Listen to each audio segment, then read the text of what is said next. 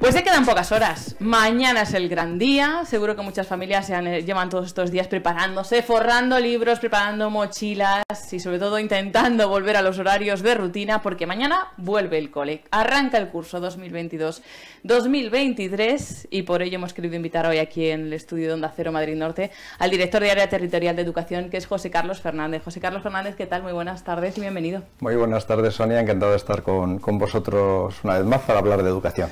Y además, empezando por una buena noticia, mm. eh, nos olvidamos un poco de esas restricciones ¿no? con las que hemos tenido que lidiar tanto estos últimos años. ¿Arranca más cercano a la normalidad este curso? Pues sí, arrancamos dentro de la situación en la que nos encontramos eh, en este momento en el país y en la región con el COVID. Nos eh, enfrentamos a un arranque del curso con absoluta normalidad y es una buena noticia. Mm. Normalidad, pero con mucha novedad también. Sí, eso sí. Vamos a empezar con las novedades desde los más pequeñitos. Vamos a empezar, por ejemplo, con ese programa de 0 a 3 años que hará que, bueno, que muchos niños lleguen a sus centros, incluso, bueno, pues antes que nunca, ¿no? ¿En cuántos centros se, se bueno, pues se ha impuesto ya ese, ese programa en la zona norte. Bueno, pues como sabes, la presidenta de la Comunidad de Madrid está en un impulso de la natalidad en nuestra región y dentro de este programa la Consejería de Educación implanta 46 centros educativos CEIP que hasta ahora no tenían ese, eh, esa horquilla de edad de 0 a 3 años y a propuesta de, de la Consejería y también de los propios centros se va a incorporar. En la zona norte lo vamos a poner en el Antonio Suna de Tres Cantos y en Alcobendas en el colegio Gabriel y Galán. Ya está todo preparado para el arranque, se han tenido que hacer obras de mantenimiento y de, adaptación de los mm. espacios. Eh, las últimas horas se, están finalizando en ambos centros y mañana comenzará el curso con normalidad. Claro, ese era uno, ese era uno de los retos, ¿no? Mm. Eh, al em, tener esta nueva horquilla de edades había que, adaptar las instalaciones, ¿no? Pensemos que son niños de 0 a 3 años. Efectivamente, no se trata de unas eh, intervenciones muy grandes, pero sí se trata de generar una zona de biberonería, zonas de cambiador diferentes, zona donde tienen que estar las cunas, que también tienen que tener una zona pues más aislada para el tema del sonido, y todo eso es lo que se ha ido haciendo en estos 46 centros, y lo que sí que creo que es importante es que, bueno, pues eh, ambas comunidades educativas, tanto la de Alcobendas como la de Tres Cantos, eh, pidieron entrar en este programa. Creo que han hecho un trabajo muy importante eh, esos claustros y ya están allí preparadas las educadoras y, los maestros que van a trabajar en esta, en esta nueva etapa. Mm. ¿Será el año un poco de rodaje? ¿Se verá si se, se amplían próximos cursos? Eh, no, no es un año de rodaje, es un año donde desde la Consejería de Educación de manera consolidada, seria, se ha hecho una programación a muchos años. Se está haciendo crecer mucho la educación en 0-3 años, en todas las demás etapas también estamos trabajando muy seriamente, pero por ejemplo en 0-3 años hemos metido más unidades, por ejemplo en las escuelas de Valde Torres o de Pedrezuela, en aquellas eh, localidades donde se ha visto necesidad de eh, apostar por más plazas públicas pues se han incrementado. Y en esa lucha por incrementar y crecer en esas plazas públicas, pues ha visto una oportunidad en algunos centros educativos que es verdad que tenían algunos espacios disponibles que no se estaban utilizando en este momento y que se podían adaptar. Entonces, de cara al año que viene, tenemos la idea de continuar trabajando en este proyecto 0-3 años.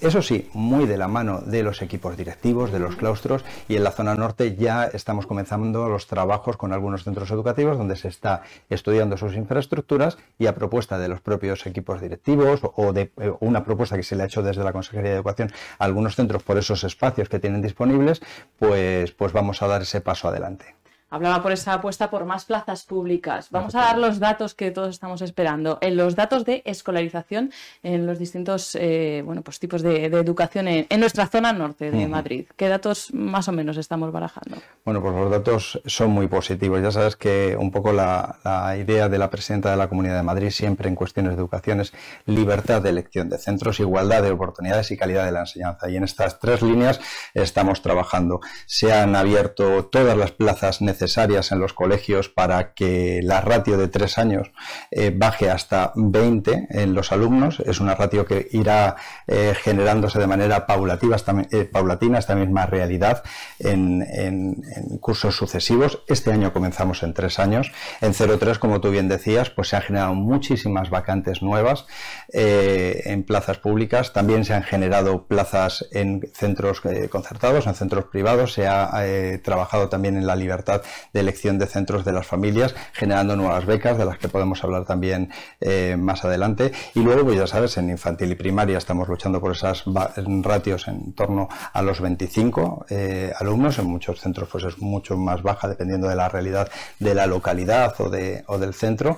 Y en el caso de, la secundaria, eh, esos 30 alumnos por, por aula.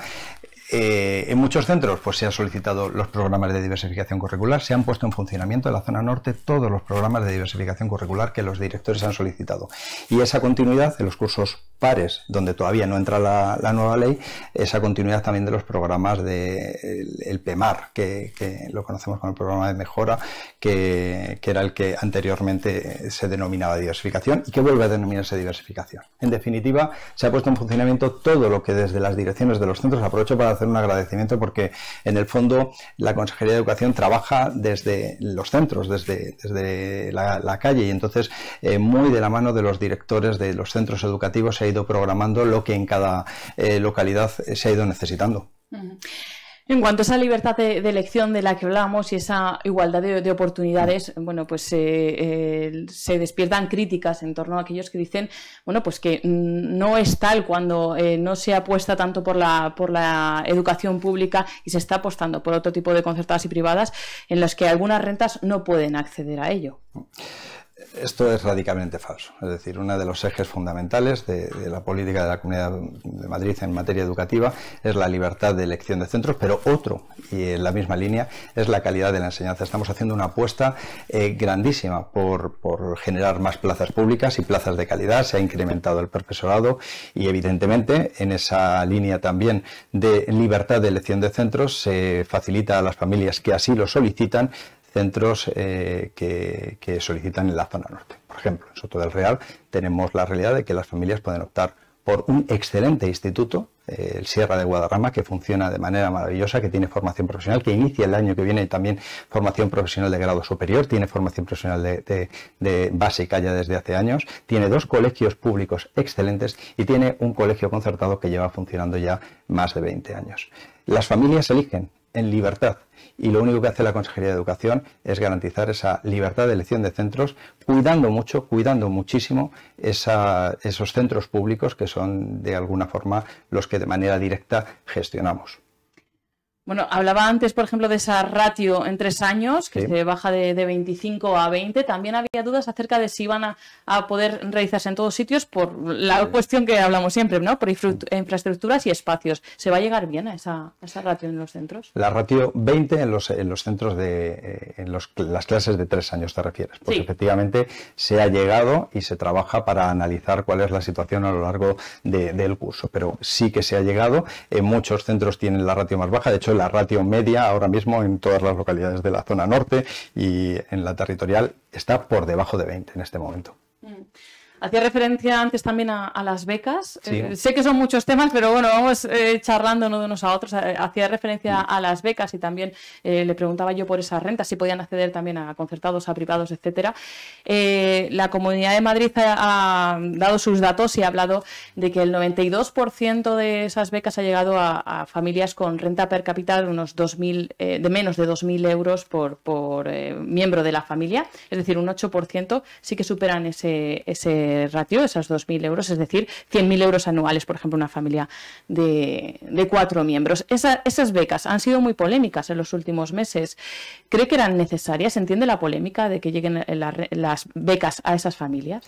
Bueno, yo creo que la izquierda está buscando, fíjate que eh, hagamos lo que hagamos, siempre se ataca a la medida, es decir, da lo mismo que sea una bajada eh, en tres años a 20 alumnos o un aumento de las becas. Eh, desde, desde, el Gobierno de la Comunidad de Madrid estamos centrados en el, en el ciudadano y lo que se puede decir de manera eh, clara es que se ha incrementado un 68% las becas en la Comunidad de Madrid hasta llegar a más de 2.000, eh, de, de, 220 y tantos mil millones, eh, millones de, euros. en cuestión de becas, pues ya sabes que tenemos las becas Acceder en la Comunidad de Madrid, la, las familias que tenemos escolarizados a nuestros alumnos en la enseñanza pública, en la enseñanza concertada, a día de hoy nos podemos acoger a un programa de, libros y, no tenemos que, gastarlo el ciudadano. Eh, tenemos las becas de reducción de precio de comedor, también se han incrementado. Tenemos las de transporte tan importantes en la zona rural. En la zona rural se están generando muchísimas eh, rutas nuevas y, se está cuidando desde Rascafría, se ha puesto en funcionamiento ahora mismo una ruta para educación especial para atender a todo el alumnado. Y becas, becas de infantil, becas de bachillerato, becas de formación profesional de grado superior, de grado medio y atendiendo a todas las clases y muy centrados en la clase media de, la Yo decirte que, fíjate, más del, como tú bien estás diciendo, más del 92% de, las becas, estas de bachillerato, que la izquierda ha querido hacer tanto jaleo con ellas, van a familias que tienen la renta per cápita por debajo de los 20.000 euros anuales. O sea, que si echamos cuentas y vemos eh, una familia donde trabajen los dos, eh, los dos miembros de la familia o uno de ellos, 20.000 euros por, eh, por, renta per cápita es, es, una situación que yo creo que todos los que eh, conozcamos ese dato nos damos cuenta que lo que se da es una perversión del dato, un intentar, hagamos lo que hagamos, criticar a la Comunidad de Madrid. En definitiva, han subido de manera muy importante las becas en la Comunidad de Madrid y creo que en el fondo eso es lo que el ciudadano necesita. Hablaba, por ejemplo, de las becas para, formación profesional, nuevos cursos. Eh, de hecho, creo que mm, estábamos diciendo estos días, ¿no? Hay 200 plazas en, en Alcobendas que todavía se pueden adaptar a ellas en, formación profesional. En ese ámbito, ¿qué, qué eh, apuesta se ha hecho en la formación? Pues se ha hecho una apuesta importantísima por incrementar la formación profesional en toda la región. En los últimos cuatro años ha sido exponencial y yo te podría decir que ahora mismo en la zona norte yo estoy muy contento de la apuesta que desde la Dirección General de Formación Profesional se ha hecho. En, formación profesional básica, este año solamente en la Consejería de Educación y en la zona norte se hace un incremento del 20%, muy al hilo, como te decía antes, de lo que nos van diciendo también los directores de los centros y una programación correcta. Se incrementa en el Giner de los Ríos, por ejemplo, de, de Alcobendas, tenemos un nuevo ciclo de de, agrojardinería. En el pintor Antonio López de Tres Cantos tenemos un nuevo ciclo relacionado con el mundo del deporte, muy interesante para todos esos alumnos que a lo mejor no han terminado la ESO y que les puede resultar interesante hacer un ciclo de deporte posteriormente, de grado medio, de grado superior, pues pueden empezar por el grado básico. En el caso de los grados medios, en la zona norte se puede estudiar cerca de 40 títulos diferentes. Entran nuevos ciclos, preimpresión en Algete, en el pintor Antonio López también entra el grado medio de deportes, que ha sido muy demandado y que estamos muy contentos porque ha respondido a las necesidades de, la ciudadanía. Y grado superior casi incrementamos en zona norte en solamente un año casi el 20%. Eh, transporte y logística, eficiencia energética y, energía eh, solar térmica. Eh, se incrementa mucho, por ejemplo, la formación profesional para aquellas familias o aquellas personas que no pueden estudiar por la mañana porque están trabajando. Entonces, por ejemplo, pueden ir al, al Ángel Corella, donde empiezan tres nuevos ciclos formativos en turno de tarde, que me parece que también es abrir bastante la horquilla. En definitiva, el crecimiento es importante y muy de la mano de lo que nos dice el tejido empresarial y los propios directores de los centros. Mm. En el ámbito de la formación profesional se habla de, datos de plazas eh, que, bueno, de personas que se han quedado sin plaza, incluso se llegaba a cifrar en, 25.000 personas.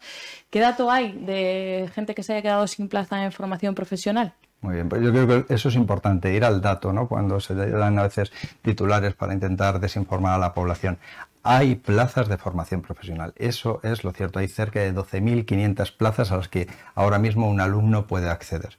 Por lo tanto, yo lo que recomendaría a los oyentes que, están en este momento escuchando el programa y que quieren acceder a la formación profesional es que entren en madrid.org, en el apartado de formación profesional, y ahí van a poder ver esa relación de plazas disponibles. Y nos vamos a dar cuenta, Sonia, que hay plazas disponibles y posiblemente para el ciclo que queremos en concreto. Lo que ocurre es que en muchas ocasiones pues lo tenemos en turno de tarde o lo tenemos, estamos ya en septiembre, hay muchísimas plazas, hay cerca de 12.500 plazas ahora mismo disponibles. También yo creo que tenemos que informar bien a la población, es decir, cómo se accede a la formación profesional, desde un punto de vista de la concurrencia competitiva de unos baremos, igual que pasa con la universidad. Y, entonces pues los alumnos acceden al ciclo formativo que, desean eh, siguiendo esos baremos. En muchas ocasiones pueden haberse quedado fuera de un ciclo que está en Tres Cantos, pero a lo mejor lo pueden estudiar en Colmenar Viejo o lo pueden estudiar en Madrid o en Soto del Real. Vamos a volver a, los colegios y vamos a volver a, también a, las aulas CEA, por ejemplo, algunas de esas novedades, o también a las aulas de, educación especial. ¿Cómo, ¿Cómo, van a ser en este curso 2022-2023? Porque sabemos que también hay mucha población pendiente mm. de, de ese ámbito. Muy bien, pues ha hecho un trabajo de programación eh, con los centros educativos muy potente y este año entran 13 nuevas aulas TEA en la zona norte, lo que eh, hace que ya la zona norte tenga eh, cerca de 72 aulas, si no me equivoco, de, de aulas TEA, aulas TGD se incrementan en todos los sitios donde ha sido necesario, en Alcobendas, en San Sebastián de los Reyes, en San Agustín de Guadalís, en La Cabrera, en El Bellón, fíjate, ahí es un pueblo muy pequeñito donde había un grupito de alumnos muy reducido que lo necesitaba, se pone aulatea, por supuesto, en El Bellón porque lo necesitan los alumnos. En Pedrezuela, en Talamanca del Jarama, aquí en Colmenar Viejo, donde estamos ahora mismo, en Antonio Machado también se abre ciclo se, se abre este aula TEA. y, sobre todo, muy importante, en esa línea de esas aulas que están en torno a cinco niños y abriéndolas en todos aquellos sitios donde es necesario. 13 son en aula TEA, creo que son cuatro también en educación especial, ¿no? En educación especial crecemos también este, este año y fíjate, hemos apostado por algo que nos estaban pidiendo los centros y es eh, la educación especial dentro de un CEIP, ¿no? que es una cosa que también desde el Gobierno de la Comunidad de Madrid se está apostando para alumnos que puedan, hacer, que puedan enriquecerse eh, por, por su situación académica, cognitiva, pueden enriquecerse de esa realidad. Entonces se van a abrir en Tres Cantos 2, en el Ciudad de Nejapa, y se va a abrir en el Antonio Suna, se abre en el Profesor Tierno Galván, en Alcobendas, y muy importante, por un celo especial de la dirección y del claustro de profesores de, de Torre Laguna, en el Cardenal Cisneros, en Torre Laguna, también se va a abrir un aula que va a dar eh, cabida a alumnos de, esa localidad. Y además, como es lógico, los centros de educación especial de la zona norte eh, han incrementado lo que ha sido necesario de unidades. Claro, para englobar todas estas aulas, nuevas unidades, etcétera, hace falta infraestructuras. ¿Qué apuestas se ha hecho? ¿Cómo ha cambiado? ¿Qué situación se encuentra ahora mismo las infraestructuras en, educativas en la zona norte? Pues eh, lo mejor que puedo decir para, para la tranquilidad de todos la mía, el primero es que las obras de, que están ahora mismo en funcionamiento eh, se están desarrollando con absoluta normalidad y están desarrollándose esas obras en el Héroes 2 de Mayo, en Tempranales, el, el Montserrat Caballé de Tres Cantos, son obras que se están desarrollando, obras que han empezado eh, en, este, en este curso, y que, en este año, mejor dicho, y que finalizarán durante el año 2023. Y la mejor noticia que podemos darnos todos, a las familias los primeros, es que las obras eh, se están desarrollando con normalidad y como digo siempre cuando tratamos este tema, Sonia, agradecer en muchas ocasiones la paciencia de las familias en aquellas situaciones en las que se ha podido ralentizar fruto de la pandemia o de diferentes circunstancias. Ha nombrado el héroe del 2 de mayo, que ya sabe que, siempre que, viene le preguntamos por esa situación, porque es una situación que viene alargándose en tiempo y que ha sufrido pues retrasos y retrasos. Creo que el último fue ese retraso de enero a febrero, permitir a la empresa adjudicataria hacer el fin de obra en febrero se sigue confirmando esa fecha y sobre todo cómo se empieza el curso en estos centros eh, adaptándose a que tienen que terminar esas obras. Fíjate, creo que, la, pregunta que es muy interesante, eh, quizás esta última parte es la más importante, es decir, los niños cómo entran a, trabajar en estos centros. Bueno, pues con absoluta normalidad y esa es la buena noticia. Desde la Consejería de Educación se ha hecho la inversión que ha sido necesaria para que estos centros tengan las aulas modulares necesarias para que el curso comience con, absoluta normalidad y, el centro, la dirección y el centro educativo así nos informan que está todo preparado para un arranque correcto. Eh, como bien decías, las obras son obras que han empezado en el 2022 y que van a terminar en el 2023 durante ese primer eh, eh primer trimestre del año. Eh, como sabemos, no solamente en educación, sino en el resto de, obras, se han podido, las empresas han podido eh, agarrar a una solicitud de una ampliación del plazo por el tema del problema de materiales, de la guerra de Ucrania y toda esta situación les permitía pedir un plazo, una prórroga y en principio tienen ese mes de prórroga y si no serían penalizados. La obra en este momento está con normalidad. Sí que es verdad que es una obra que vamos a disfrutar fundamentalmente a partir de septiembre del año que viene. Lo que necesitamos es que finalice cuanto antes, durante el primer trimestre, si es posible, del año que viene. Y, desde la Consejería de Educación estamos muy atentos de, que todo se vaya produciendo con absoluta normalidad, Sonia. Mm. Eh, este eh, centro es uno de los ejemplos bueno, del desarrollo de, centros en, fases. Mm. ¿Le hace plantearse a, la Consejería de Educación, no sé si esto entra dentro del ámbito o no, eh, ese modelo de ir creando centros en, en fases? Sí, sí, es, una pregunta muy interesante y desde el Gobierno de la Comunidad de Madrid, en el arranque de la legislatura, desde que comenzó eh, la presidenta eh, la anterior legislatura, ya se hizo un análisis serio sobre esta situación y se está trabajando para que los colegios se realicen en dos fases o en una única fase siempre que sea posible. ¿Cuál es la realidad que también tenemos que poner sobre la mesa? Es que la Comunidad de Madrid tiene un crecimiento exponencial que no tiene de población, que no tiene en el resto de comunidades autónomas en muchos casos. Y la Comunidad de Madrid necesita la construcción, pues como, pasa con los hospitales, con los centros, pues también de colegios, de institutos. Y en muchas ocasiones la Comunidad de Madrid tiene que hacer frente a mucha construcción. En este sentido, de manera responsable hay que ofrecerle a todos los eh, ciudadanos esas plazas públicas y por eso en algunas y por eso debemos entender por qué en la anterior legislatura se ha trabajado mucho con esos centros en donde se generaban tres eh, etapas para hacer, hacer la construcción. Pero sí que es verdad que se ha trabajado en el tema y a día de hoy las reflexiones que se van a intentar construir los centros educativos en una única fase o como mucho dos.